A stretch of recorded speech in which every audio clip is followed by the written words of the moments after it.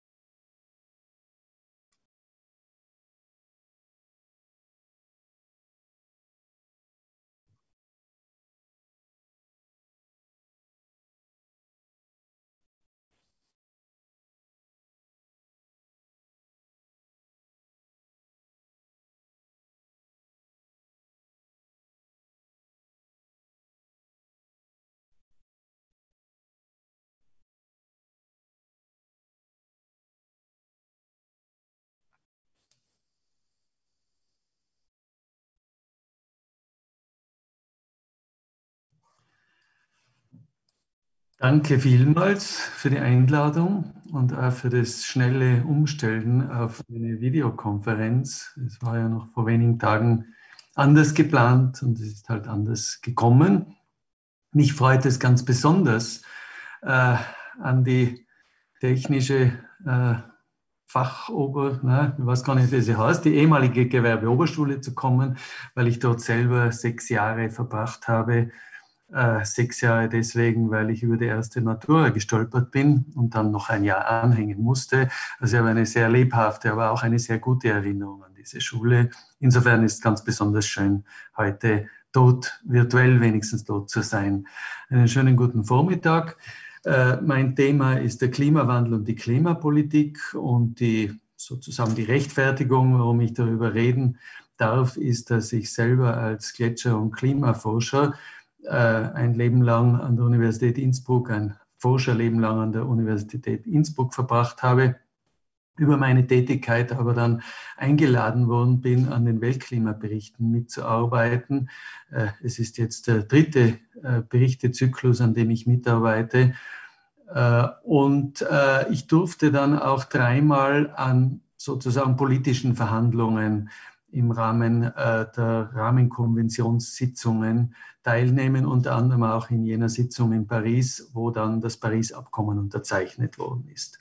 Nun, wie schaut es aus äh, mit dem Klimawandel? So, jetzt muss ich schauen, wie meine Folien weiter.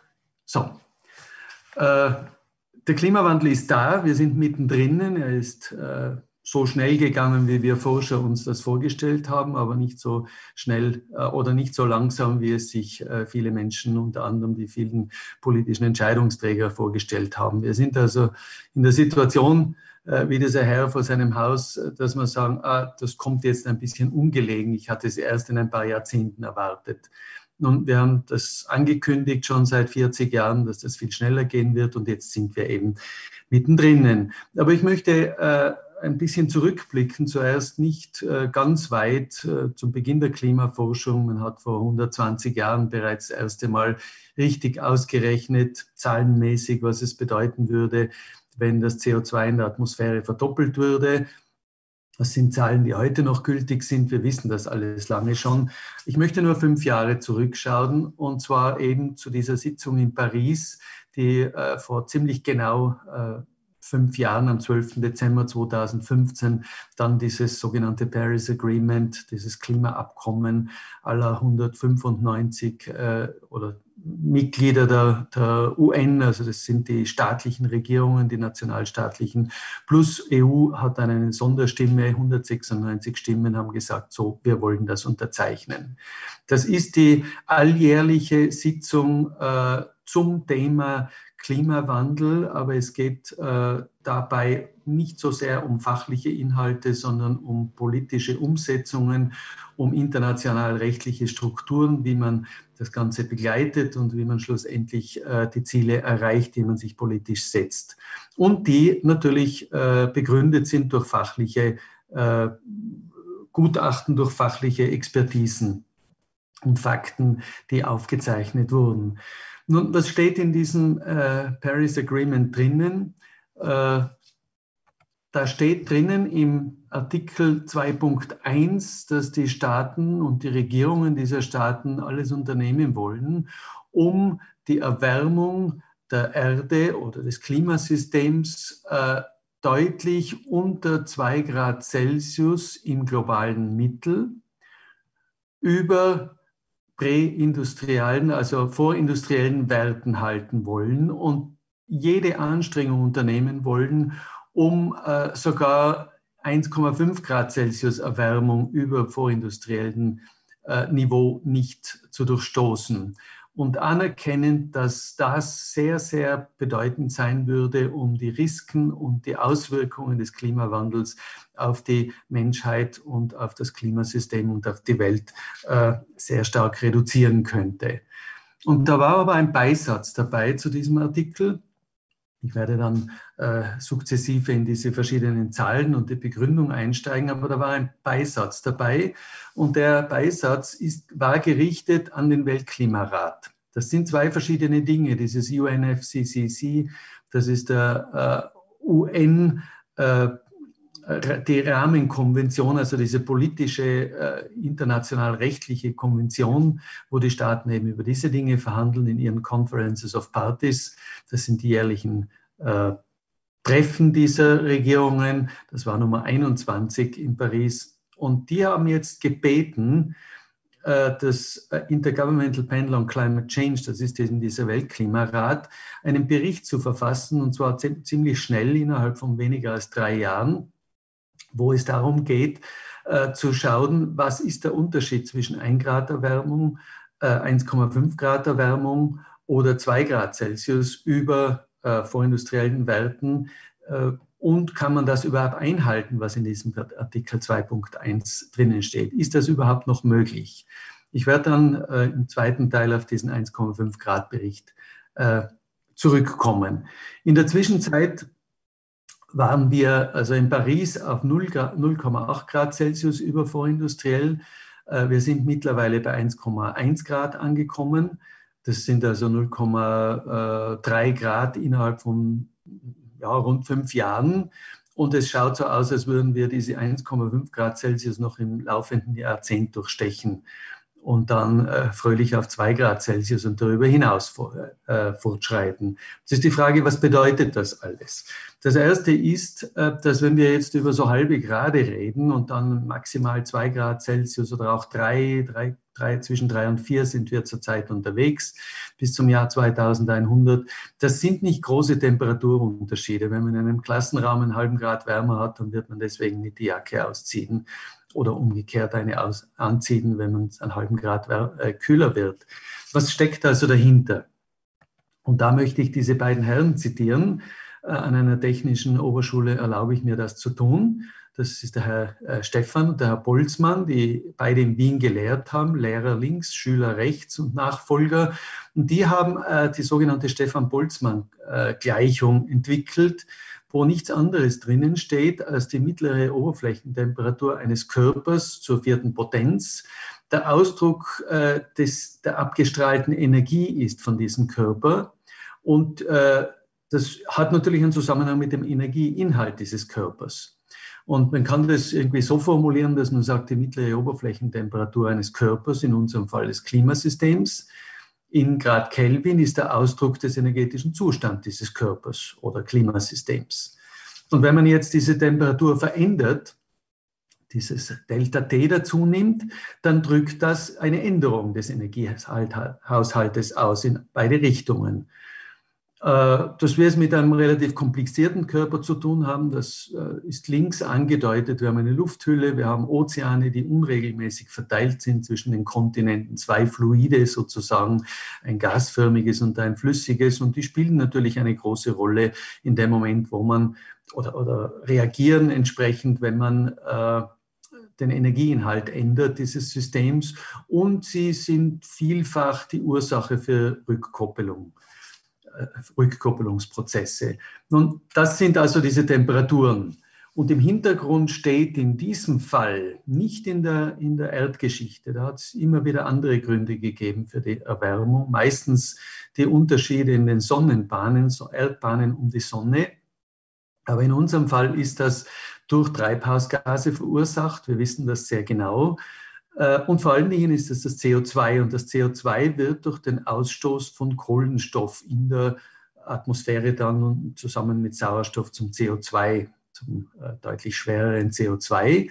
Und hier ist der äh, die Emission von Kohlenstoff in Pektagramm pro Jahr angegeben. Das sind, ist dasselbe wie Gigatonnen pro Jahr. Und wir waren im Jahr 2012 bei etwas unter 10 Gigatonnen pro Jahr. Das sind jetzt Zahlen, mit denen man wahrscheinlich auch als, als äh, Technikstudenten wenig anfangen kann. Auch mir ist das nicht sehr griffig und ich habe es versucht umzurechnen, was das bedeutet.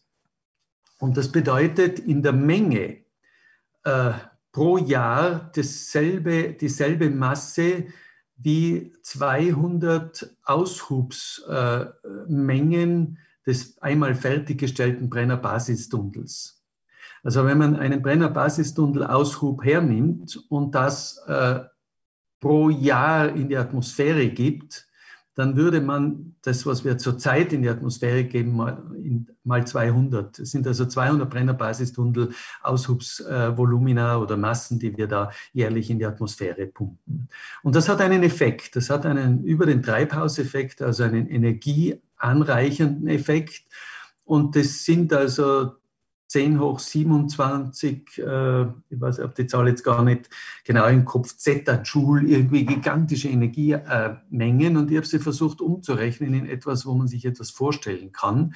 Und da ist mir als größte vom Menschen gemachte oder zweitgrößte neben dem Klimawandel vom Menschen gemachte Energiefreisetzung war im Jahr 1961 äh, die sogenannte Zarbombe, die größte je gezündete Wasserstoffbombe. Und im Augenblick produzieren wir Energie oder holen wir Energie ins System herein, ins Klimasystem, das gleich viel ist, wie wenn wir 250.000 solcher Zarbomben pro Jahr zünden würden.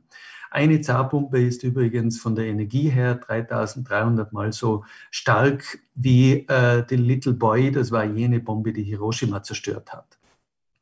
Äh, wenn wir alles aufsummieren äh, bis 2012 oder, oder ja, 2015 in dem Fall, wie viele Zarbomben wir bisher äh, gezündet haben, dann sind das 10 Millionen solcher Bomben, die bisher gezündet worden sind. Das ist das analog zu dem, was wir durch das Anreichern von Treibhausgasen an Energie hereingebracht haben ins System. Das äh, bleibt natürlich nicht herinnen. Die Erde erwärmt sich. Wir haben es gesehen. Wir sind bereits ein Grad wärmer geworden. Und dadurch wird mehr abgestrahlt und die Hälfte dieser Energie oder etwas mehr geht schon wieder äh, weg. Aber es bleibt eine sich erwärmende Erde drunter und die macht verschiedene Dinge mit dieser Energie. Die erwärmt die Oberfläche, aber 90 Prozent dieser Energie geht in die Ozeane, führt dort vor allem Dingen zur Expansion der Wassermassen und damit zum Meeresspiegelanstieg, aber auch zu massiven Eingriffen auf die Lebenszyklen in den Ozeanen und auf die äh, äh, Bewegungsformen der Ozeane, auf die Ozeanströmungen. Ein Teil geht in das Schmelzen von Eis, ein Teil geht in eine beschleunigte bioenergetische Umsetzung der Pflanzen, ein Teil geht in mehr Verdunstung. Und das sind halt die Dinge, die so in diesem komplizierten Klimasystem äh, passieren, wenn ich mehr Energie hineingebe.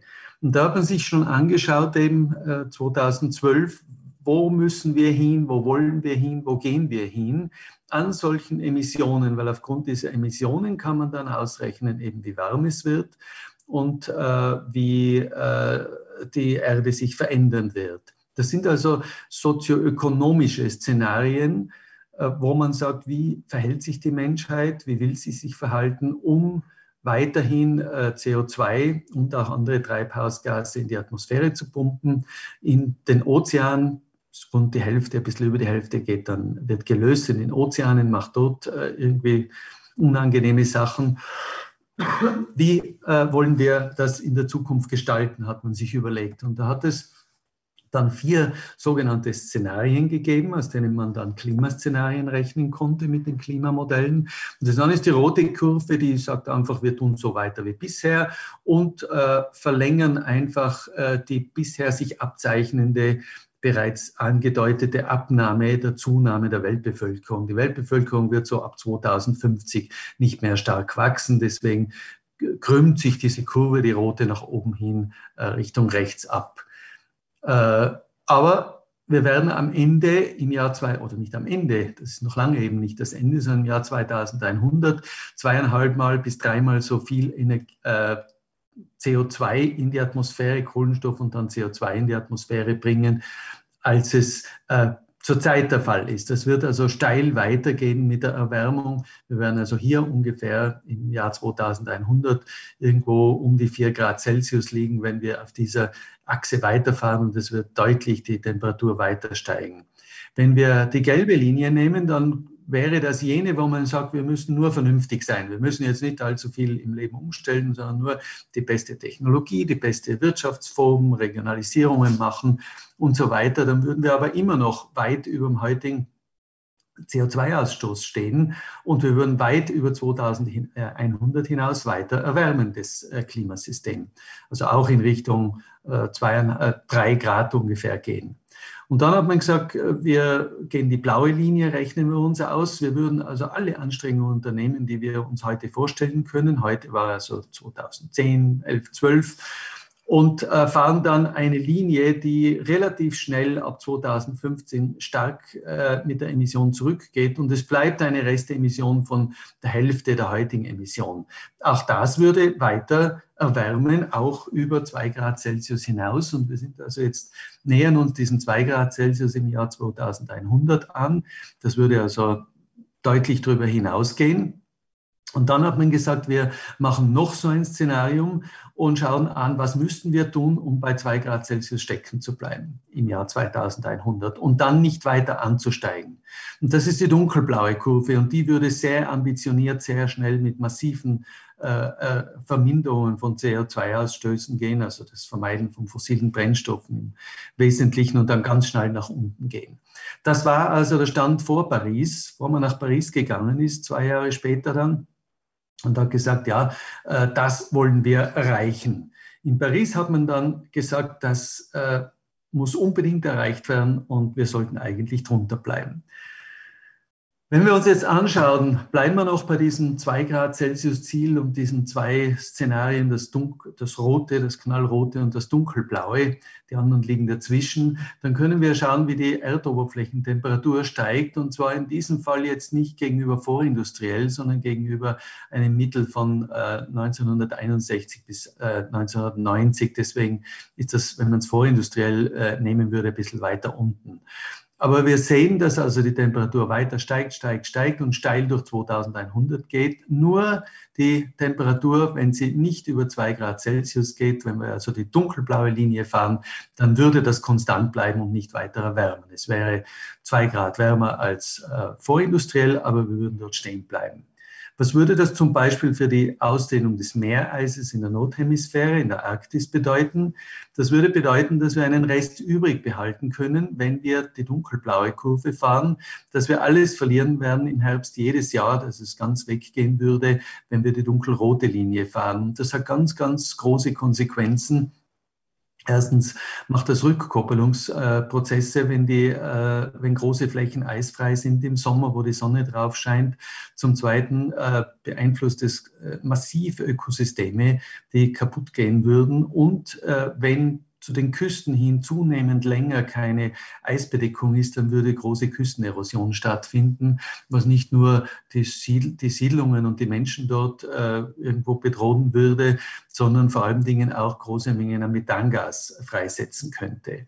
Und dann haben wir noch eine Größe, äh, auch die zeigt, dass es Sinn machen würde, diese ambitionierte dunkelblaue Linie zu verfolgen. Das ist der pH-Wert in den Ozeanen oder anders gesagt die Versauerung der Ozeane. Wir sind bereits, wenn wir diese Kurve, die dunkle, äh, verfolgen, wir sind bereits sehr sauer geworden. Der pH-Wert ist bereits gestiegen durch die Aufnahme von CO2 oder von Kohlenstoff, ja, am Ende dann CO2 in äh, gelöster Form in, die, in den Ozeanen. Das ist, wie ich gesagt habe, ungefähr die Hälfte dessen, was wir emittieren bisschen mehr wie die Hälfte. Und wenn wir so weitermachen im roten Sinn, dann würden wir eine ziemlich saure Suppe produzieren in den nächsten Jahrzehnten. Und das würde nicht nur die Korallenriffe, die jetzt schon praktisch dem Untergang geweiht sind, die Warmwasserkorallen, sondern auch das gesamte Lebenssystem, die ganzen Öko Systeme in den Ozeanen ziemlich zerstören bzw. auf den Kopf stellen. Und das hätte dann Konsequenzen natürlich im globalen Ausmaß und auch für uns. Wir könnten das abfangen, wenn wir die dunkelblaue Linie fahren. Es würde noch ein bisschen aus den bereits emittierten in die Ozeane hineingehen, aber es würde sich dann langsam wieder fangen und es würde wieder besser werden, äh, so ab 2050 und dann in das, zweite, in das nächste Jahrhundert hinein. Es gibt also viele Gründe, äh, dieses, diese dunkelblaue Linie zu fahren. Allerdings müssen wir uns bewusst sein, dass wir äh, auch bei dieser dunkelblauen Linie, auch bei dem, was wir bisher schon gemacht haben, eine Größe haben, die können wir nicht im Jahr 2100 oder um 2100 herum stoppen, auch wenn wir diese dunkelblaue Linie fahren. Und das ist der Meeresspiegelanstieg. Der Meeresspiegelanstieg, der hier dargestellt ist, bis ins Jahr 2300, von 1950 weg, nicht nur bis 2100 wie vorher. Und wir sehen, dass die rote Linie sowieso steigen würde im Meeresspiegel bis zu 4 Meter, 5 Meter, 6 Meter im globalen Mittel sondern dass auch die dunkelblaue Linie über 2100 hinaus weiter steigen würde. Und da muss ich gleich dazu sagen, in dieser Berechnung sind keine äh, abrupte mechanischen Dinge drinnen, wie, sie, äh, wie wir sie jetzt sehr, sehr stark im, äh, im Umfeld der Antarktis vermuten, wenn also mechanische Kollapse von Teilen der Antarktis wirklich stattfinden würden. Das ist hier nicht hineingerechnet, sondern nur das kontinuierliche sich ändern. Und da gibt es jetzt äh, im Prinzip vier verschiedene Komponenten, die alle äh, dafür verantwortlich sind, dass das nicht im, zweiter, im Jahr 2100 stehen bleibt wie alles andere. Und das ist zum einen ganz oben, und wir sind jetzt wieder von 1950 bis 2100 unterwegs, das ist jetzt äh, der äh, Anstieg des Meeresspiegels aufgrund der äh, thermischen Expansion des Wassers. Und nachdem das Wasser so tief ist und, damit, und die Schichtungen äh, untereinander so zum Teil gesperrt sind, das ist kein unmittelbarer Austausch äh, sehr, sehr schneller möglich, gibt es eine lange Verzögerung. Und auch die Aufnahme von äh, Wärme von der Atmosphäre her dauert äh, eine Zeit, sodass das verzögert ist. Und dann haben wir die großen Eismassen Grönland, Antarktis und die vielen kleinen Gletscher weltweit die auch alle verzögert reagieren. Das stellt man sich so vor, wie wir einen Eisklotz aus dem Kühlschrank nehmen. Der ist auch nicht im selben Moment weg. Das dauert also. Das Eis schmilzt verzögert gegenüber einer Erwärmung. Äh, alle drei stark beschleunigend, äh, am meisten Grönland in den letzten Jahren, auch die Antarktis beschleunigend in Abgabe vom Wasser, zum Teil durch Schmelze, zum Teil durch äh, Destabilisierung an den Rändern und mechanischen, dynamischen, eisdynamischen Prozessen, die beschleunigt werden. Und auch die Gletscher nehmen zu.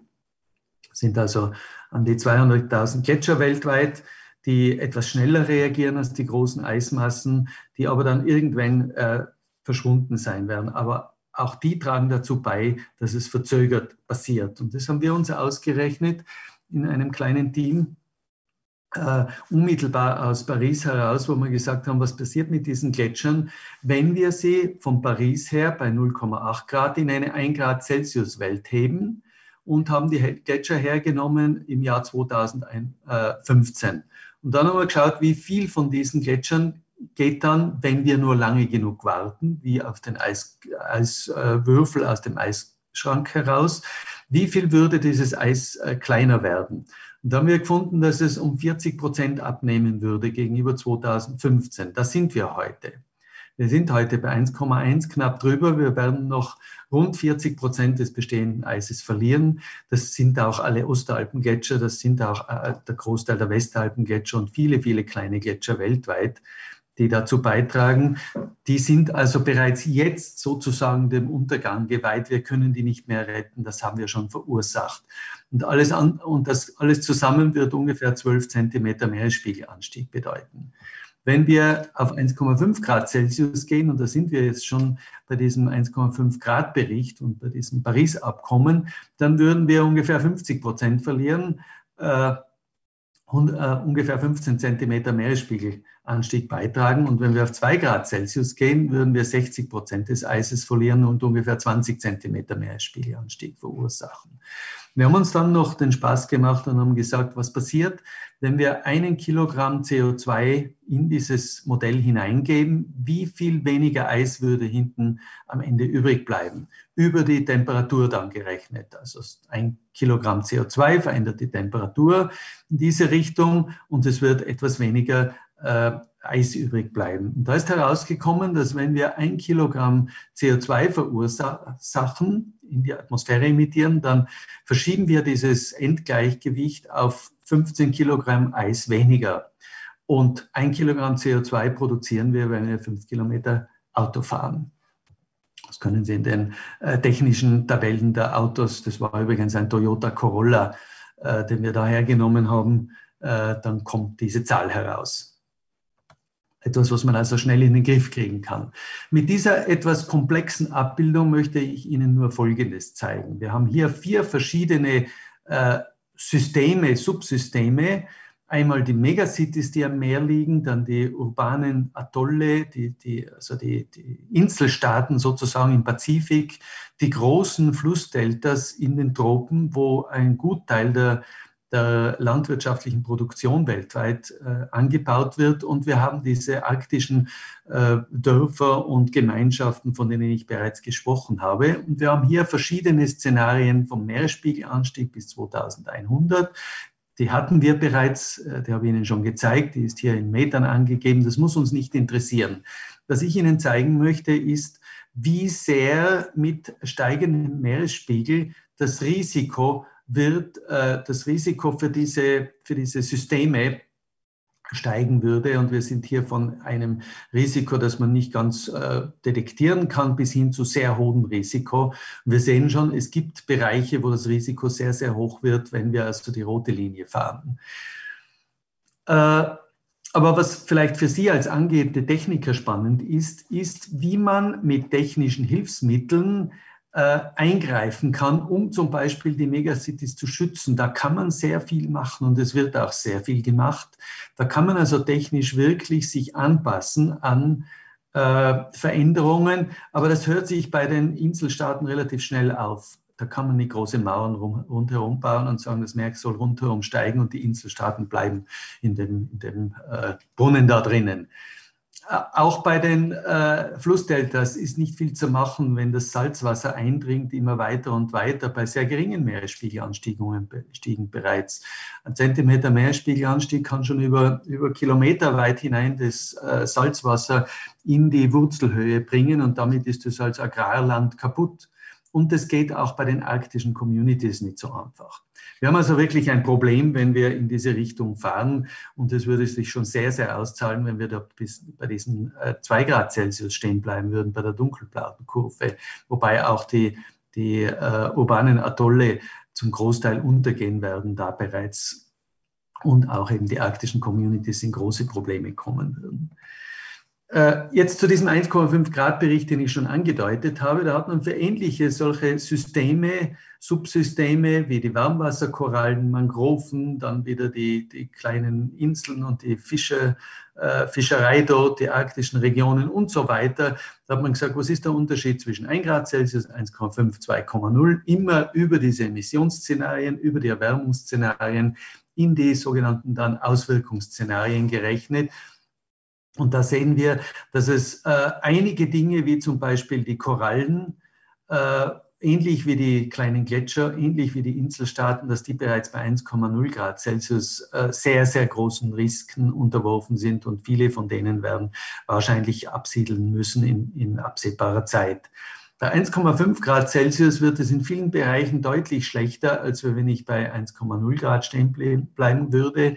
Hier zum Beispiel die Küstenüberflutungen. bei 2 Grad Celsius kommen wir schon in mehreren Bereichen in extrem hohe Risikobereiche hinein.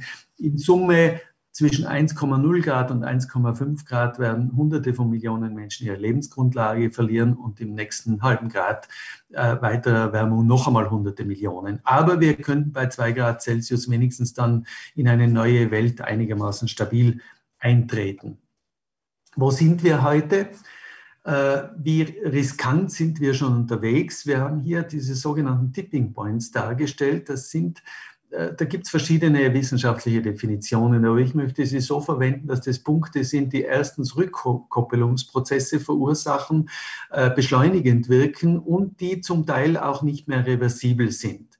Die kann ich nicht mehr, auch wenn ich es abkühlen würde, wiederherstellen. Da ist zum Beispiel Grönland dabei. Das grönländische Inlandeis, wenn das irgendwo mm, etwas massiver zu schmelzen beginnt als jetzt und wahrscheinlich haben wir diesen Punkt bereits erreicht, dann kann das nicht mehr wachsen, weil es nicht auf einem Berg steht, sondern in einem flachen oder sogar äh, äh, schüsselartigen Becken, äh, wo zum große Teile unter Meeresspiegel liegen vom Gletscherbett von Grönland. Und wenn da sehr viel schmilzt, wenn ich das einmal triggere, dass das niedriger wird von oben her, dann kommt es immer mehr in warme Gegenden, auch ohne die Erwärmung. Und dann bringe ich sehr viel äh, Wasser in die in den Atlantik, der beeinflusst dann stark die, äh, den Golfstrom sozusagen.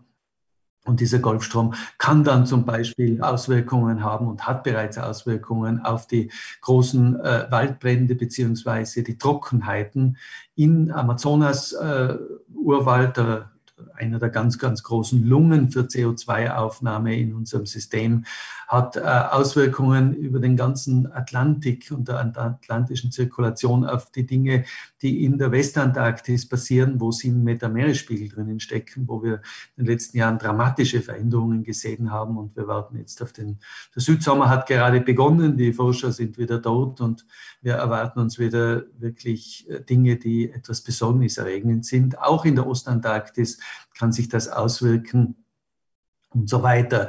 Wir haben diese Waldbrände, äh, die wieder hier und hier stattfinden. Wir hatten heuer diesen, diesen immensen Wärme, äh, diese immense Wärmephase, wo es von Jänner bis Juni 8 Grad zu warm war in der äh, Nordost, in Nordostsibirien auf einer Fläche so groß wie Australien.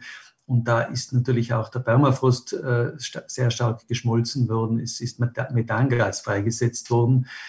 Äh, das hängt wiederum zusammen mit ganz, ganz stark mit der äh, Meereisausdehnung, weil die Meereisausdehnung, wie ich zu Beginn gesagt habe, mehr oder weniger Sonnenstrahlung aufnehmen kann und die Arktis äh, erwärmt, hat sich bereits viermal so stark erwärmt als das globale Mittel.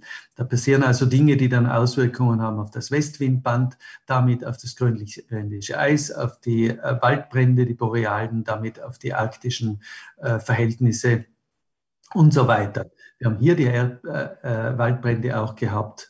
Und äh, wir haben hier auch die Korallenriffe, die wiederum Teile des Ökosystems in der in den Ozeanen sind und wiederum Auswirkungen haben können auf die ozeanische Zirkulation. Also wir haben überall schon bereits äh, sogenannte Warnschüsse bekommen, massive Warnschüsse von allen äh, diesen Tipping Points. Und das ist also allerhöchste Zeit, etwas zu tun.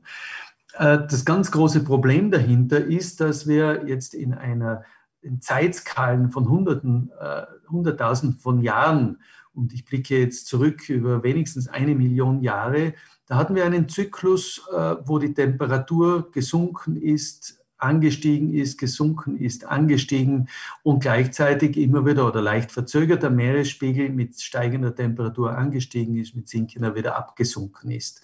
Das sind also diese Glaziale und Interglazialzyklen, wo unsere Erde in, den letzten, in der letzten Million Jahre relativ stabil sich bewegt hat. Was wir jetzt getan haben, ist die Erde aus diesem Zyklus herausholen. Wir haben sie jetzt hier stehen und wir wissen aus geologischer Evidenz, was hier passiert, hier passiert, hier passiert, wenn die Temperaturen äh, dementsprechend steigen, was mit dem Meeresspiegel passiert. Und wir äh, sind ganz, wir haben sehr, sehr viel Evidenz, dass irgendwo zwischen 1,5 Grad Celsius und 2 Grad Celsius das äh, Erdsystem oder das Klimasystem hinausschießen würde in einen völlig neuen Zyklus, den wir mittlerweile das Hothouse Earth äh, benennen würden. Und das würde eine völlig andere Welt ergeben, in der wir uns gar nicht ausdenken können. Also hier wären wir bereits bei sieben Meter höher, höherem Meeresspiegel oder Meeresspiegel als bisher. Äh, wir haben noch eine letzte Chance, das einzufangen. Wir müssen das tun und wir müssen das zurückführen. Es, potenziell ist die Chance da, wieder das zurückzuführen in einen normalen Zyklus über Jahrhunderte. Aber einfangen müssen wir es jetzt. Wenn wir jetzt noch 20, 30 Jahre warten, ist es zu spät. Das hat der 1,5 Grad Bericht sich genau angeschaut und hat gesagt, wir wollen das tun, was uns äh, Paris, das Paris Agreement aufgetragen hat. Wir wollen also eine Temperaturkurve fahren, wie wir sie bisher erlebt haben. Das geht bis hierher, aber dann darf sie nicht so weitergehen. Wir sind hier von 1950 bis 2100 und hier in Grad Celsius gegenüber äh, 1850, 1900. Das ist also gegenüber vorindustriell jetzt. Wir sind also bereits so weit gestiegen, 1,1 Grad ungefähr. Äh, wir würden weiter steigen, würden äh, in dieser Abbildung 2040 herum 1,5 äh, Grad Celsius durchstoßen. Das wollen wir nicht. Wir wissen heute, dass wir wahrscheinlich vorher schon da, wir steigen steiler im Augenblick an. Das wollen wir nicht. Wir wollen in diesem grünen Bereich drinnen bleiben. Eindeutig unterhalb 2,0 und möglichst nicht weit um 1,5 Grad Celsius gegenüber vorindustriell. Und um das zu tun, müssen wir, das ist ausgerechnet worden, die CO2-Emissionen gegenüber 2010 bis 2030 um 45 Prozent äh, senken. Das ist in den nächsten neuneinhalb Jahren oder nicht einmal mehr. In den nächsten neun Jahren müssen wir den CO2-Ausstoß global um 45 Prozent senken und dann bis 2050 auf Netto Null kommen. Die paar wenigen äh, äh, Tonnen, die wir dann noch äh, emittieren wollen, können, müssen, die müssen wir dann hauptsächlich biotechnisch äh, wieder herausholen. Deswegen Netto Null, weil wir also etwas auch äh, an negativen Emissionen scheint es sich abzuzeichnen, dass das technisch möglich wird. Äh, wir stehen heute hier, ich kehre zurück auf diese Kohlenstoffkurve. Das vorher war eine CO2-Kurve, hat natürlich andere Zahlen hier gehabt. Ich gehe wieder auf diese Kohlenstoffkurve zurück, die wir von Anfang an kennen. Wir sind also nicht mehr hier im Jahr 2012, sondern im Jahr 2019, haben jetzt eine 2020 eine kleine Delle erfahren durch den Lockdown. Das ist aber nicht sehr viel. Wir sind also auf der obersten roten Kurve bereits weitergegangen, gar nicht auf der mittleren, sondern auf dieser rot-weiß strichlierten, die sehr weit oben läuft. Und wir müssen, also das, was ich vorhin gezeigt habe, so nach unten stürzen mit unserem Konsum. Das ist nicht mehr gelb, das ist nicht mehr hellblau, das ist nicht mehr dunkelblau. Wir müssen viel, viel steiler nach unten fahren, um bis 2050 auf Netto Null zu kommen. Nun, was, was tut das mit der globalen Gesellschaft? Das haben die sich dann ausgerechnet. Das war eine Gruppe von 90 Kollegen, die das gemacht haben. Was passiert mit der globalen Gesellschaft? Und da hat man, okay, äh, ich habe das dann noch gegenüber 2019 hier eingezeichnet. Die 45 Prozent Reduktion wären ja gegenüber, gegenüber äh, 2010 gegenüber 2019 müssten das rund 55 Prozent bereits sein. Also wir müssen sehr, sehr stark, sehr schnell, schnell zurückfahren. Was tut das mit der globalen Gesellschaft? Und da gibt es die sogenannten SDGs, die Sustainable Development Goals. Auch die Südtiroler Regierung richtet äh, oder plant ihr Tun ganz stark äh, nach diesen äh, äh Nachhaltigkeitszielen der UN auszurichten, diese 17. Das kann man äh, nachschauen auf der auf Webseiten der Landesregierung. Aber die haben das jetzt global gemacht in diesem 1,5 Grad Bericht und haben das in drei äh, Handlungs Feldern gemacht. Sie haben angeschaut, was muss ich tun, äh, um äh, die Energiebereitstellung umzustellen von fossil auf erneuerbar. Wenn ich das in dem Ausmaß tue, um diese 45 Prozent gegenüber 2010 abzubauen, dann hat das Auswirkungen auf die äh, Menschen der Erde. Und äh, die größte negative Auswirkung hat das natürlich auf das saubere Wasser. Das, da braucht man nicht äh, lang zählen können.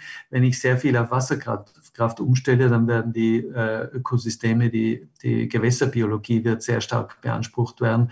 Und äh, die Bereitstellung von sauberem Wasser wird schwierig werden. Äh, dann können wir auch die Energie oder müssen wir die Energie stark reduzieren und wir müssen die Benutzung von Landoberflächen umstellen, sprich die globale Landwirtschaft stark umstellen.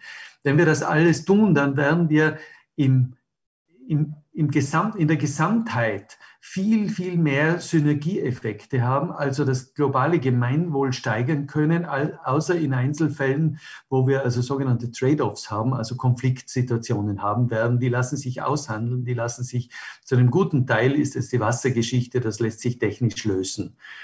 Aber äh, insgesamt, wenn wir diesen, diesen sehr, sehr dramatischen, revolutionären Schritt gehen wollen und diesen Pfad gehen wollen, dann wird am Ende eine Welt herauskommen, die mehr Gemeinwohl hat, auch was den, den Nord-Süd-Konflikt betrifft, aber auch die Konflikte der sozialen innerhalb unserer Gesellschaft, unserer reichen Gesellschaft sozusagen, die ließen sich abbauen.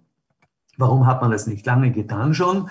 Äh, da gibt es jetzt eins, zwei, drei, sechs solche Felder, die stammen auch aus dem 1,5 Grad Bericht, wo man sich verschiedene Themenfelder der Machbarkeit angeschaut hat. Man hat sich angeschaut, ist das alles überhaupt äh, geophysikalisch machbar? Das steckt ja überall Geophysik dahinter. Was macht die Atmosphäre? Was machen die Ozeane? Was macht das Eis? Ist das überhaupt möglich, äh, diese 45 Grad äh, Prozent Reduktionen zu machen und dann die Auswirkungen in die richtige Richtung zu treiben, dass dann, also dass wir in einem Rahmen bleiben, der nicht hinaus über, der, über das Ziel hinausschießt. Das ist also möglich, das ist wissenschaftlich aufbereitet, das ist kein Problem. Äh, wie schaut es mit der Umwelt aus, also den biophysikalischen, den biologischen äh, Bereichen? Wie schaut es da auch aus? Auch das äh, würde, die Ökosysteme würden da mitspielen. Das ist also, die gehen ja dann wieder herein, die Ökosysteme in die man denke nur an die Urwälder. Das wirkt alles wieder herein in die geophysikalischen Prozesse des Klimasystems. Und ist das technologisch machbar? Es wäre auch technologisch machbar und es wäre auch ökonomisch machbar, wenn man nur irgendwie die Weltwirtschaft und den Welthandel wieder regeln würde und nicht äh, völlig entfesselt äh, laufen lassen würde. Das Einzige, was man wissenschaftlich nicht aufbereiten kann, das ist einmal die institutionelle, Machbar institutionelle Machbarkeit. Das ist im Prinzip die Politik. Das ist ein Symbol für ein Parlament hier und ein Regierungsgebäude. Das kann die Wissenschaft nicht tun. Das müssen die Menschen tun. Und auch das soziokulturelle Bereich, also diese partizipativen äh, Geschichten, wo Gemeinschaften sagen, wir wollen diese Schritte gehen, es wird unser Lebenssystem verändern, unser Verhalten ändern, wir wollen das tun. Alles andere ist bereits aufbereitet und wäre machbar. Man muss es nur noch wollen. Und da ist natürlich diese, dieser ganz große Satz, äh, den Greta Thunberg vor zwei Jahren oder sind es schon drei bald her, äh, vor zwei Jahren äh, gesagt hat, ihr Politiker, ihr Entscheidungsträger, und das sind nicht nur die Politiker, auch die Konzernchefs, auch die Religionsführer und so weiter, uh, start focusing on what needs to be done. Tut, beginnt endlich das zu tun, was notwendig ist und nicht das, was Politik, politisch für euch machbar erscheint. Und da sind die Fridays for Future hineingegangen und da äh, möchte ich einfach jetzt zum Schluss in dieser letzten Folie äh, den jungen Menschen, und das, ja, ich vermute jetzt auf der anderen Seite vom Bildschirm sitzen einige und viele junge Menschen, möchte ich mitgeben, ihr müsst Druck aufbauen, ihr müsst Druck aufbauen auf die politischen Entscheidungsträger. Ihr habt es schon getan. So viel über Klimawandel ist noch gar nicht geredet worden in den letzten beiden Jahren, weil wir die Folgen bereits spüren, aber weil auch Fridays for Future laut geworden sind. Und da gibt es viele, viele Möglichkeiten, die die Lehrer mit euch diskutieren werden, welchen Bereichen ihr selber tätig sein könnt. Ich selber bin jetzt kürzlich in Südtirol äh, einer Organisation äh, beigetreten, die sich ganz lose aus 12, 13, 14 Leuten zusammengestellt hat, die äh, den sogenannten Zukunftspakt Südtirol äh, bearbeitet, wo man will, äh, den, den, politischen und, und äh, den Verantwortlichen in dem, was in Südtirol an Entscheidungen getroffen wird, sozusagen unter die Arme greifen und sagen, wir machen partizipative Bürgerräte, wir wollen, dass ihr das aufnehmt, wir wollen, dass ihr die Bürgerräte gesetzlich verankert. Und da kann man als, also auf dieser Seite, wenn man hier noch ein U hineinfügt, das ich vergessen habe, zwischen Z und K, kann man auf dieser Seite äh, sozusagen als Unterstützer unterschreiben. Wir haben mittlerweile 1500 Südtirolerinnen und Südtiroler, die das unterstützen. Und wir werden in, sehr aktiv versuchen, diese Teilhabe der Gesellschaft an politischen Entscheidungen in die Richtung zu einem nachhaltigen Südtirol in die Wege zu leiten. Damit äh, Stopp von meiner Seite. Äh, wenn dann Fragen sind, dann tue ich die sehr gerne beantworten. Vielen Dank, äh, Herr Kasser, Universitätsprofessor und äh, Doktor, Südtiroler Glaziologe, also auch weltbekannt, also sehr interessant, dass er da bei uns ist. Dann noch kurz ein Aufruf, also in der Videobeschreibung findet sich ein äh, Link für einen Live-Chat, falls jemand Fragen stellen will, also diskutieren. Diejenigen, die digital dabei sind, einfach einsteigen und Fragen, alles, was auch unter den Nägeln brennt, einfach hineinschreiben. Und ich würde sagen, wir machen jetzt eine kurze Pause. Und dann geht es gleich weiter.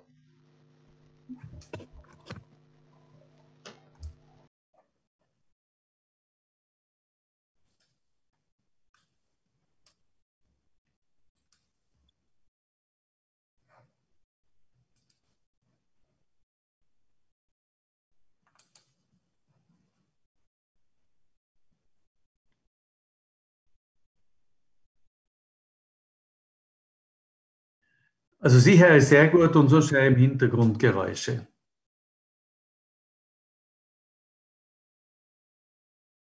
Ja, ich habe wieder das äh, freigeschalten. Ich kann jetzt auch im Chat sozusagen äh, fragen, wenn die von irgendwo anders herkommen, also direkt vom Mikrofon äh, versuchen zu lesen. Und sonst äh, kann man einfach jetzt so diskutieren. Wenn es geht, für mich ein Bild einzuschalten bei TFO Bozen, ist ein bisschen äh, mehr das Gefühl, dass da jemand auf der anderen Seite ist. Wenn es nicht geht, ist geil.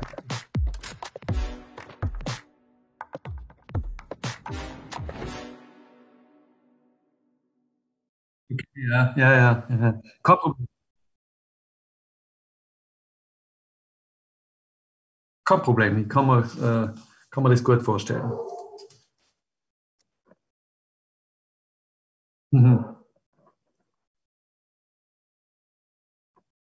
Ja, im, im Frühling habe ich relativ viele in Schulklassen gemacht, auch jetzt im Herbst.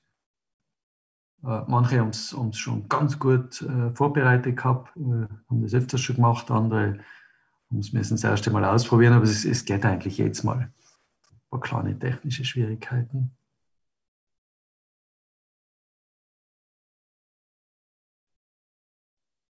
Ich warte jetzt einfach auf Fragen, oder?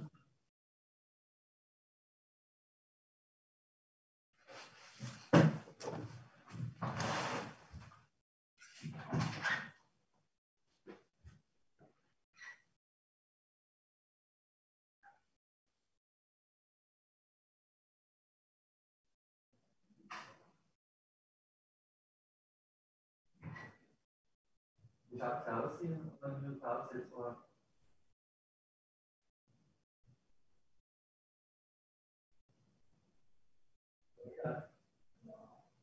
Schaut es aus, irgendwo da unten an über Pause.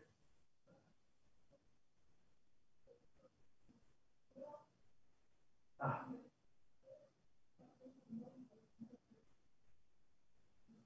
Ja, ja. Okay. Ja, bis bald mal.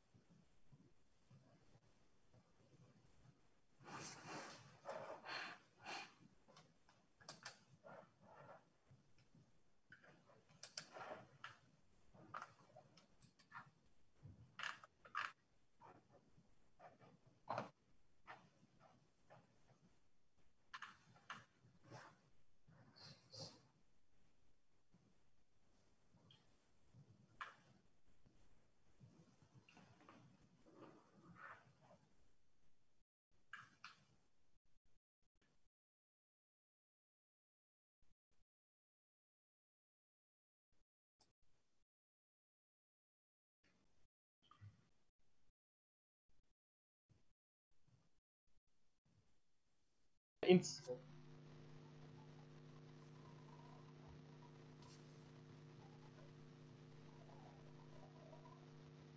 So, jetzt sind wir wieder zurück. Ich hoffe, man hört uns jetzt. Und Gut, ja.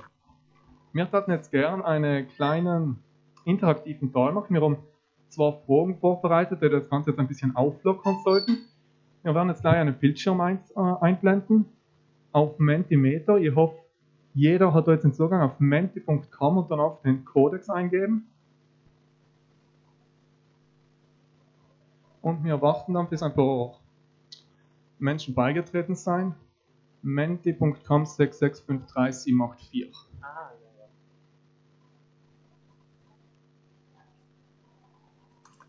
Wie ist das akustisch? Ist halt nur die Verzögerung, wenn wir umschalten auf mich?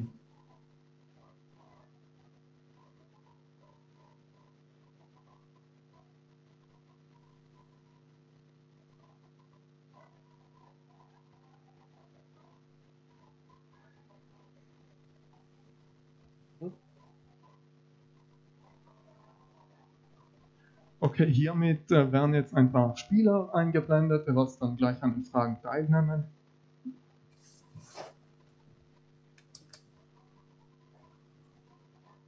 Und ja, dann warten wir noch ganz kurz. Und dann starten wir auch gleich, wenn im Laufe noch ein paar Spieler dazukommen, dann werden die auch eingeblendet. Okay. Hm. Wir sehen jetzt gleich die erste Frage. Durch Treibhausgase werden Satelliten, werden die Satelliten abgebremst, werden die Satelliten beschleunigt oder haben Treibhausgase keinen Einfluss auf die Geschwindigkeit der Satelliten? Also das ist eine Frage, mit der kann ich jetzt weniger anfangen, aber ich gehe jetzt einmal davon aus, dass das, dass das keinen Einfluss hat, weil die Treibhausgase auf ganz anderen äh, Niveaus in der Atmosphäre äh, sich konzentrieren. Das ist hauptsächlich in der Troposphäre, also in die untersten 10.000, 12.000 Meter. Äh, da gibt es ja die Sperrschicht. Okay. Herr Kass, wenn Sie vielleicht kurz unterbrechen würde, wir haben da gleichzeitig eine, eine Publikumsumfrage gestartet und wir sehen, dass die meisten Menschen haben geantwortet, Treibhausgase haben keinen Einfluss auf die Geschwindigkeit der Satelliten, aber tatsächlich werden Satelliten beschleunigt durch die Treibhausgase. Wenn wir jetzt kurz weitergehen, das ist jetzt eine Frage, die auch ziemlich viel mit den Gletschern zu tun hat.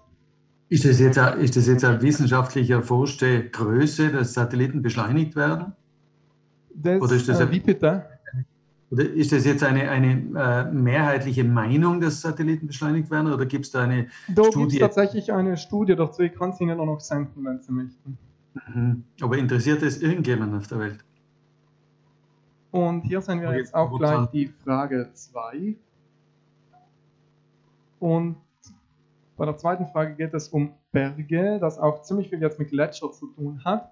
Was passiert mit den Bergen in Zeiten des Klimawandels? Sie werden kleiner, sie bleiben in konstanter Höhe oder sie wachsen.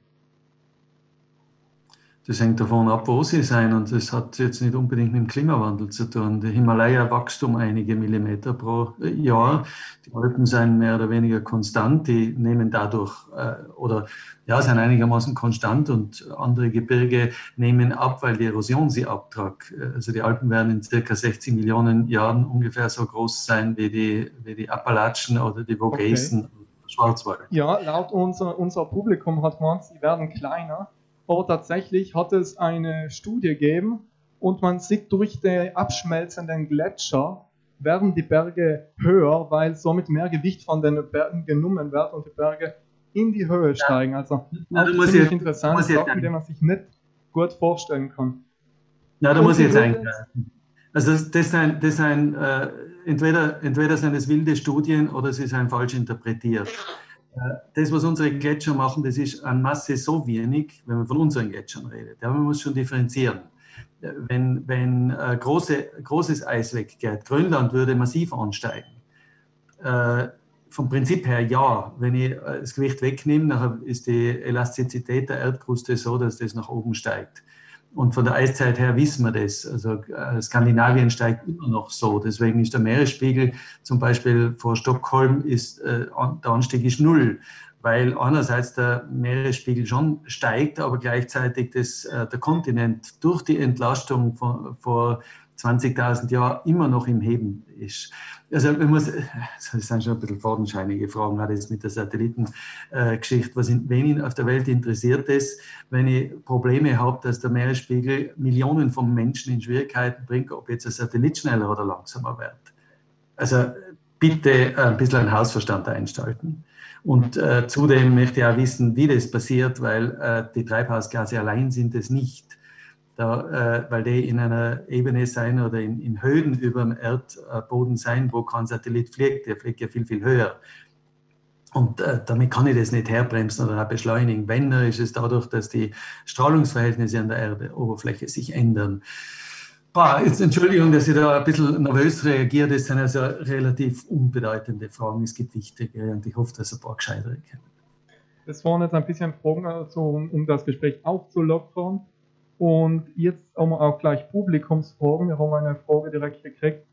Also was konkret würde passieren, wenn wir jetzt einfach so weitermachen? Wie würde dann die Erde in 50 Jahren konkret ausschauen?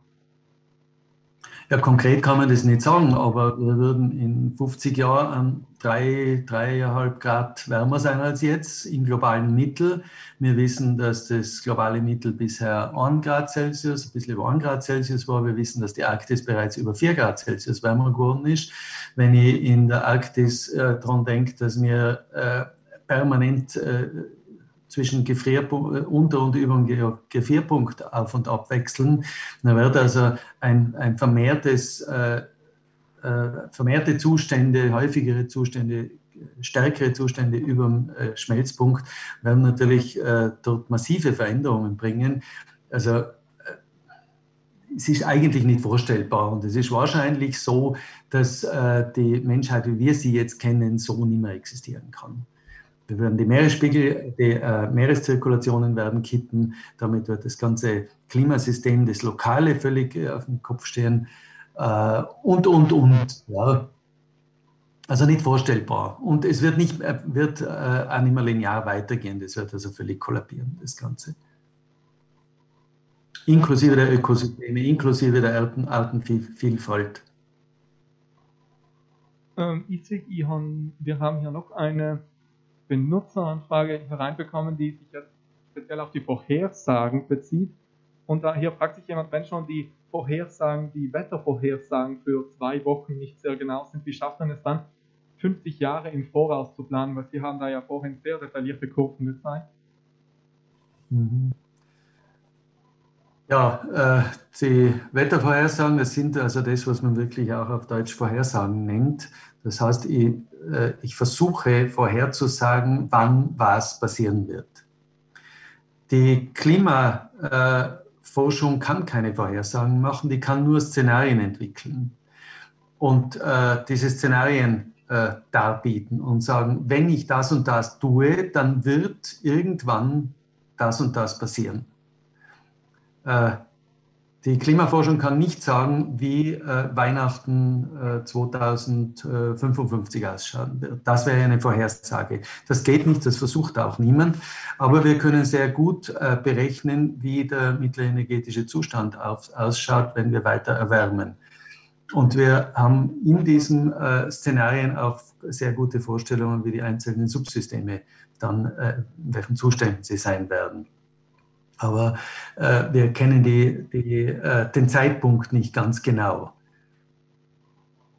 Ist das, ist das jetzt eine, Antwort, äh, mit der man was machen kann?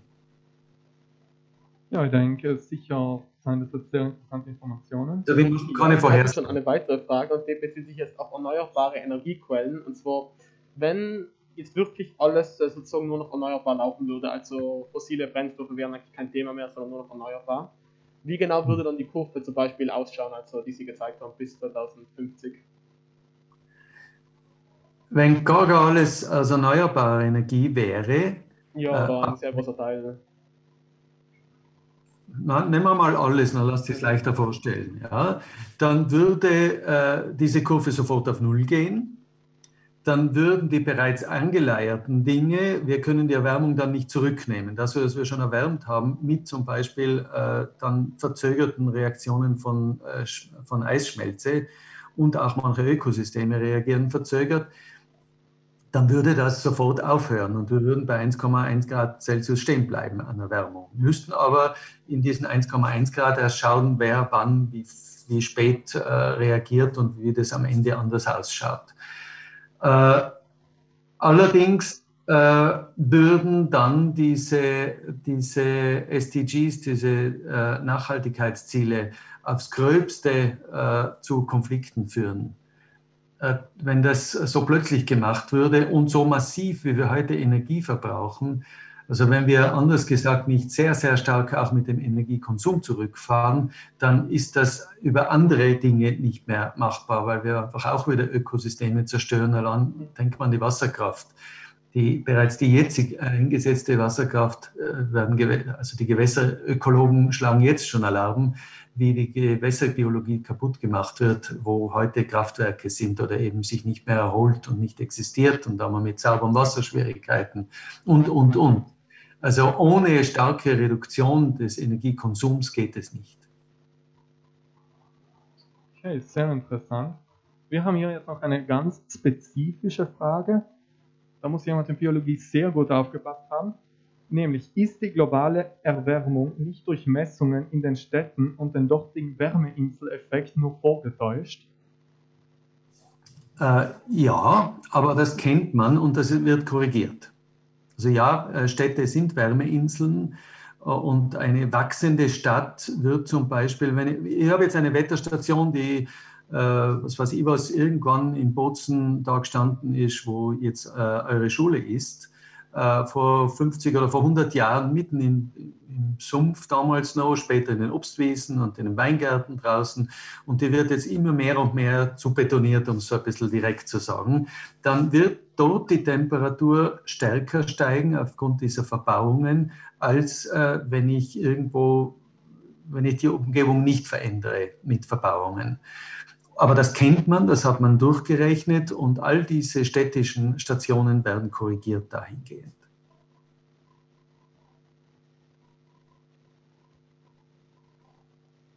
Wir haben jetzt direkt eine Publikumsfrage und die wechselt kurz meinen Platz. Äh, Herr Professor, was würden Sie dazu sagen? Wie groß wäre der Nutzen, wenn wir zum Beispiel, ich denke, wir brauchen drastische Maßnahmen. Wenn wir zum Beispiel sagen, Raumheizung auf 18 Grad und wir tragen dicke Pullover zu Hause, würde das zum Beispiel, das kostet uns jetzt etwas vom Komfort, wir sind es auch nicht gewohnt, aber es wäre machbar würde das hier zum Beispiel Ihrer Meinung nach viel nützen, wenn man das so machen würde? Dankeschön.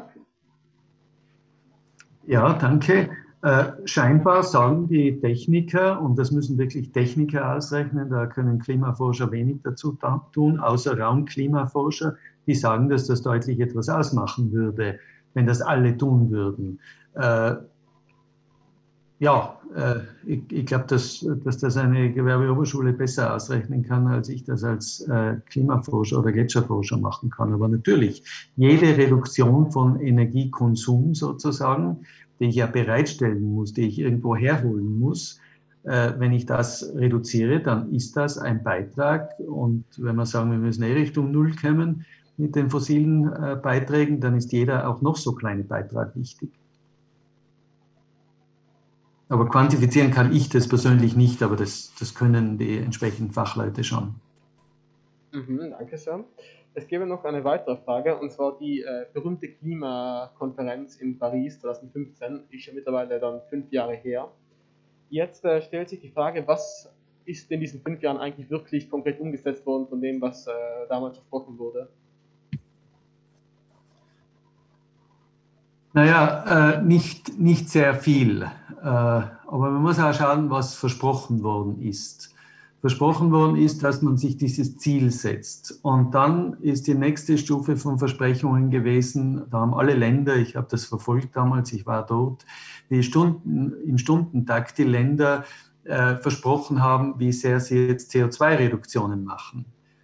Äh, und das sind die, diese Versprechen, äh, diese CO2-Budgetversprechen aufsummiert worden in irgendwelchen äh, äh, ja, Tabellen.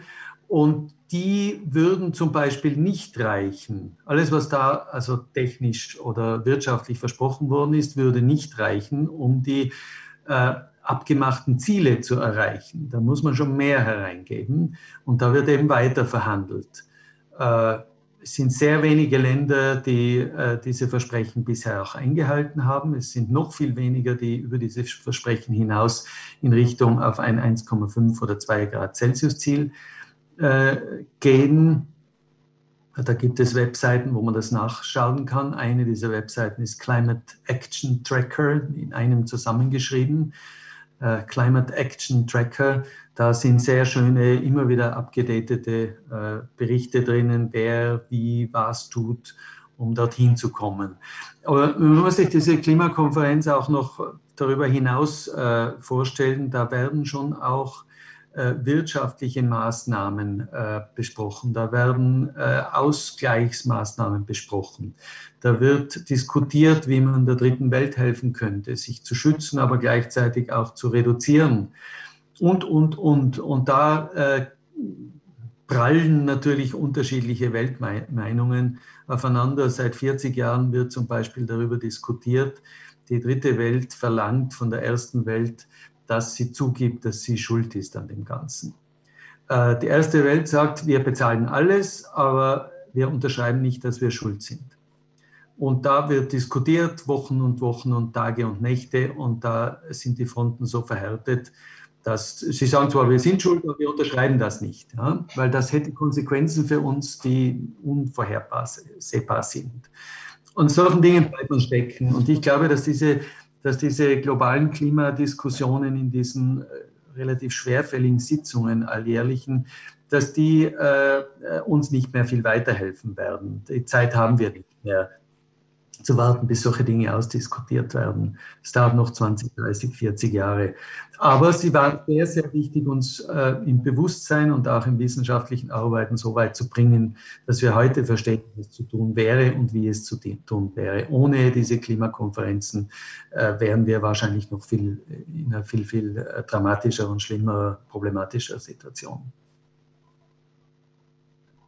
Okay, super. Wenn ich jetzt hier kurz ein bisschen durch die Kommentare streife, dann sehe ich eine Frage, die mal auftritt. Zum Beispiel auch der Corona-bedingte Flugverkehr, der unterbrochen wurde.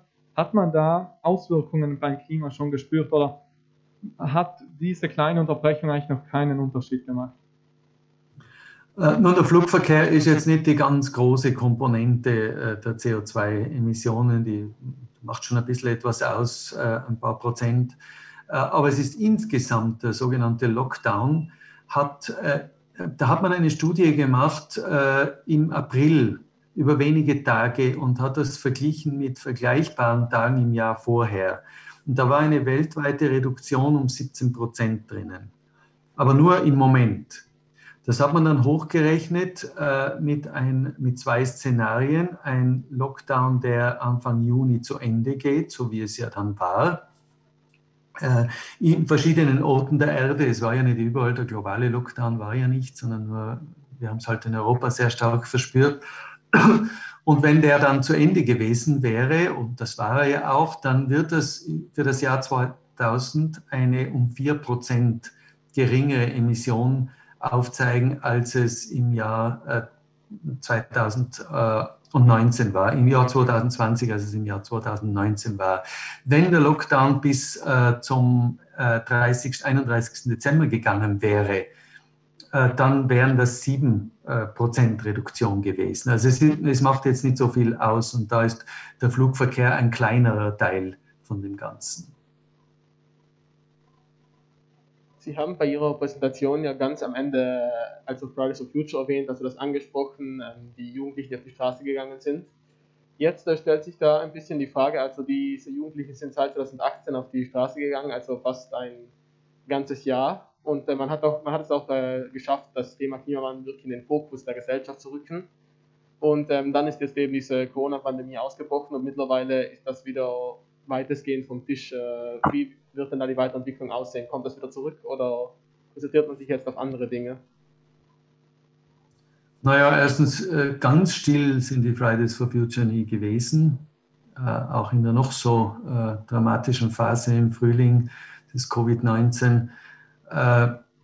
Sie haben sich dann auch wieder unterschiedlich versucht zu formieren, haben das auch gemacht. Sie werden im Augenblick kaum diese öffentlich wirksamen Demonstrationen machen können. Das geht nicht, aber sie äh, haben in verschiedenen Ländern unterschiedliche Formen gefunden, wie sie auf die Regierungen einwirken können. Und äh, auch in den Regierungen weiß man schon, dass es über den, das Covid hinaus noch ein anderes Problem gibt. Im Prinzip wissen die auch, dass ein fossiler Lock-in eine Katastrophe wäre. Aber das sind halt die Wirtschaftstreibenden nur zum Teil so und äh, Politiker sind nur bedingt äh, frei in ihren Entscheidungen. Das sind ja auch irgendwo von Interessensvertretern unter Druck gesetzte Leute, die das machen müssen. Aber sagen wir mal, die Aufgeschlossenen und Intelligenteren unter Ihnen, die wissen, dass da ein noch viel größeres Problem kommt. Und im Hintergrund, glaube ich, wird da schon einiges gemacht. Ob es reichen wird, das weiß ich nicht, weil es braucht wirklich eine, eine äh, radikale Änderung unseres ganzen äh, Wirtschaftssystems und auch unseres Lebensstils radikal meine ich, indem man wirklich an der Wurzel Dinge angeht und ändert und nicht nur irgendwo so oberflächlich ein paar so nette Dinge macht oder ankündigt und dann gar nicht macht. Gut, ich habe hier jetzt noch eine Frage aus dem Publikum. Herr Professor, Sie haben gesagt, der Flugverkehr macht beim CO2-Ausstoß nur circa ein Prozent aus. Da bin ich jetzt ganz baff. Ich habe immer gedacht, Fliegen ist eine der schädlichsten Sachen. Stimmt das nicht vielleicht trotzdem, nicht wegen dem CO2-Ausstoß, aber weil ja die, wie heißt das, weil die, die, die Decke, die Wolkendecke, äh, der Ozon, Ozongürtel wird ja geschwächt. Das hat doch wohl auch schwerwiegende Auswirkungen auf das Klima, oder nicht? Ja, jetzt nicht unbedingt. Man muss die Dinge ein bisschen auseinanderhalten. Ich habe hier jetzt eine, ich weiß nicht, wer das sehen kann, ich habe eine Abbildung von uh, Our World in Data. Das ist eine Webseite, die solche Daten zusammenträgt. Wer jetzt für die uh, Treibhausgasemissionen in welchem Ausmaß uh, verantwortlich ist. Und das ist, wenn wir jetzt den, den Flugverkehr suchen, ist das ein Prozent. Das ist hier Aviation. Shipping hat 1,7 Prozent. Das Ganze ist im Transportwesen äh, drinnen, das insgesamt äh, 16 Prozent ausmacht. Und das ist im Wesentlichen schon die CO2-Emission. Äh, bei der Landwirtschaft sind es dann auch Methangas und äh, Lachgasgeschichten. Aber der Großteil kommt von der Energiebereitstellung und da ist im ganz großen Bereich ist das die Industrie, die Energie braucht, äh, schwere Industrie, aber auch die andere 24 Prozent. Dann gibt es die, äh, den Handel, der 6,6 Prozent verursacht, nicht braucht, sondern das sind jetzt die Verursachung der, der Emissionen, die da äh, resultieren. Das sind also die Wohngebäude weltweit, 10, 10 Prozent, fast 11 Prozent und so weiter und so weiter. Es ist also Flugverkehr jetzt in der unmittelbaren Produktion von Treibhausgasen nicht so äh, wichtig, wie wir äh, das äh, glauben, äh, hat aber andere Probleme. Ja? Äh, die zum Beispiel eben, der, nachdem sie ja, ja höher und höher fliegen, diese Flugzeuge, äh, greifen die auch in die Ozonschicht ein und in andere äh, chemische Zusammensetzung an der Troposphause, ungefähr an der Tropopause und schon knapp drüber in die Stratosphäre hinein. Und das hat Auswirkungen, wobei jetzt das, äh, das hohe Ozon, nicht das bodennahe Ozon, wir müssen auch da wieder unterscheiden, das hohe, das stratosphärische oder tropopausennahe Ozon die äh, führen dazu nicht so sehr, dass mehr Energie hereinkommt, sondern dass die Energie in, in anderen Wellenlängen hereinkommt und damit äh, viel mehr schädliche Wellenlängen zulässt. Das ist jetzt nicht so sehr im energetischen äh, Mengenskalenbereich äh, eine große äh, Problematik, sondern die Problematik ist eher in der Verschiebung der Wellenlängen, in denen die Energie hereinkommt von außen. Das wissen wir also, Hautkrebs und, und so weiter und so weiter. Okay, sehr interessant. wenn man da so durch den Chat ein bisschen geht, sieht man viele Fragen. Was kann man effektiv gegen den Klimawandel tun? Was kann man proaktiv machen? Und wir haben da auch auf Mentimeter eine Frage. Jeder kann da hineingehen und auch ein bisschen ein paar Informationen geben, ein paar Ideen schreiben. Aber ich würde auch die Frage gerne an Sie weitergeben, Herr Kaser. Was kann man gegen den Klimawandel unternehmen als Person? Das ist eine Frage, die wird mir regelmäßig gestellt bei jedem Vortrag und äh, ich weiche eigentlich aus, weil ich mag niemandem vorschreiben, was er zu tun hat. Meine Antwort ist in der Regel, äh, es gibt jede Möglichkeit, dich zu informieren und man muss einfach den Hausverstand wieder reaktivieren. Äh, das betrifft den Konsum von verschiedensten Dingen. Man muss sich halt überlegen, brauche ich das? Oder wenn ich durch eine Einkaufsstraße gehe, schaue ich mal an, wie viel wird nach einem Monat noch nicht auf dem Müll landen? Und das ist sehr wenig, was ich in den Auslagen sehe. Und da denke ich mir, ja, muss ich das machen? Äh, da muss ich jetzt gar nicht wissen, wie viel CO2 dran klebt an dem Ganzen, an der Produktion. Äh, und, und, und. Das, das sind einfach die Lebensformen. Ich habe, habe Ihnen die 1,5 oder die 15 äh, Kilogramm Eis bei 5 Kilometer Autofahrt geben. Da kann man sich selber ausrechnen oder, oder überlegen, muss ich mit dem Auto fahren die nächsten fünf Kilometer und so weiter und so weiter. Äh, ja, was, was ich schon äh, hervorheben möchte, und das ist etwas, äh, was die Fridays for Future ja eh machen, äh, die, die politische Stimme erheben. Das ist bei Wahlen so, äh, wobei es kaum Parteien gibt, die wirklich das auf dem Radar haben, was zu tun ist. Aber auch da kann man Druck erzeugen. Und äh, auch die, die noch nicht wählen dürfen, durch diese ganze Fridays for Future Bewegung, die haben mehr Druck auf die Weltpolitik gemacht und auch auf die regionale bis hin zur lokale Politik, als sie es vielleicht selber wahrnehmen wollen. Also politisch sein. Okay, dann stehe ich jetzt auch noch hier. Herr Merano, möchten Sie uns dann auch noch ein paar Ideen geben, wie man sich dem Klimawandel entgegenstellen kann? Ja, es wäre eigentlich, äh, ist ein bisschen jetzt technisch, gibt ein bisschen technische Schwierigkeiten, sonst hätten wir hier gerne noch einiges gezeigt. Das Sieht man das? Geht schon. Das geht schon. Man muss nur mehr die. Ach so. Äh, okay, das funktioniert. Ja, also hier haben wir eine Liste zusammengestellt, was kann ich beitragen gegen Klimawandel, natürlich in keiner Weise vollständig mein Verhalten im Alltag ändern. Siehe also zum Beispiel Tipps fürs Klima. Alle Teilnehmer dieser äh, Online-Konferenz oder hier, die live sind, haben diese Unterlage erhalten. Da kann man sich was heraussuchen. Äh, ich zeige es einmal kurz. Da auf das wurde zusammengestellt und hier kann man einfach Sachen heraussuchen. Und das wollten wir vorschlagen, sich heute vorzunehmen. Deswegen wurde auch vorgeschlagen, Schreibzeug mitzunehmen. Hier sind jetzt lauter Informatiker, die haben kein Schreibzeug mit, weil die machen das digital. Aber vielleicht äh, Klassen, die dabei sind, noch online, haben ihre Zettel und da wäre der Vorschlag jetzt konkret für mich etwas aufzuschreiben, was ich machen möchte. Entweder aus dieser Liste, das sind keine neuen Erfindungen, das wissen wir alle schon, aber wir müssen etwas umsetzen davon. Äh, andere Möglichkeiten sind, also es wird jetzt zeitlich ein bisschen knapp. Ich zeige da was ganz Besonderes, äh, was kann man machen, um für globale Auswirkungen zum Beispiel bei wichtigen Petitionen mitmachen, die Seite Awards, da passiert sehr viel. Ja, das, äh, da werden auch konkret Sachen verbessert, da braucht man eigentlich nur unterschreiben. Natürlich darf man nicht denken, wenn ich nur unterschreibe, habe ich schon was bewirkt. Aber es werden wichtige Sachen gemacht. Und es passieren äh, ganz schlimme Sachen. Ja.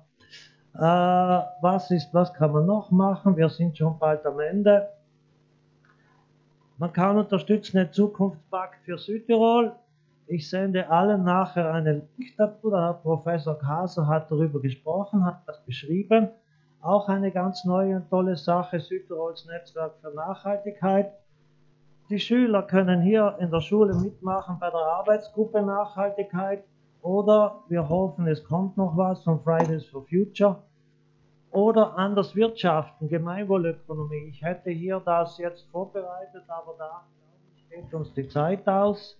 Also ich zeige noch Gemeinwohlökonomie ganz kurz, äh, Webseite eingeben und sich konkret etwas vornehmen, das schlagen wir vor. Von dieser Liste irgendwas, dass jeder sich was konkret vornimmt. Das wär's. Dankeschön. Dankeschön. Eventuell Sie senden die Unterlagen an die Schüler weiter, dann kann sie jeder auch noch einmal in Ruhe durchschauen. Vielen, ja, vielen Dank also, Herr Meraner, für diese interessanten Inputs. Vom Ment, äh, Mentimeter haben wir ein klares Ergebnis und zwar wird äh, der Vorschlag mehr Fahrradfahren sehr oft genannt. Also das ist natürlich eine sehr ähm, einfache Lösung, die natürlich der Umwelt hilft und auch selber bequem sein kann, vor allem in den Städten, weil da ist man mit dem Fahrrad meistens schneller als mit dem Auto oder auch meistens schneller als mit dem Bus. Und ähm, wir haben gerade die Glocke gehört, das wäre eigentlich schon unser Schlusswort oder unser Schlusssignal. Dann äh, bedanken wir uns vielmals für die Aufmerksamkeit, auch allen Zuschauern, die uns online gefolgt sind, auch den äh, Leuten, die hier anwesend waren. Und ähm, wir hoffen, dass wir den nächsten Vortrag dann in Präsenz machen können oder sonst sehen wir uns wieder online. Nochmal danke an Herrn Kaser, dass er mit uns mit dabei war und ja, ja wir wünschen noch einen schönen Schultag. Ähm, Bis zum nächsten Mal. Danke von meiner Seite fürs Zuhören. Ich war ein bisschen zu schnell mit meinen Antworten auf die ersten beiden Fragen. Haben mir ein bisschen aus, aus der Bahn geworfen. Äh, aber ich hoffe, dass wir trotzdem einigermaßen eines, einiges diskutieren haben können und verabschiede mich. Äh, danke noch einmal für die Einladung. Danke Ihnen. Bis zum nächsten Mal. Super.